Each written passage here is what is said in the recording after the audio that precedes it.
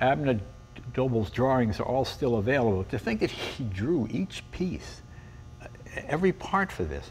For example, this car does not have the condensate pumps. The other cars, so each car was different. He tried new things all the time, so he could never he could never get it perfect. So each car he made was as good as he could do to that point. And then the investors say, "Well, let's start making this." No, no, no. I want to build another one. And so they only built a total of 40 cars. So that was setback number two, trying to start it.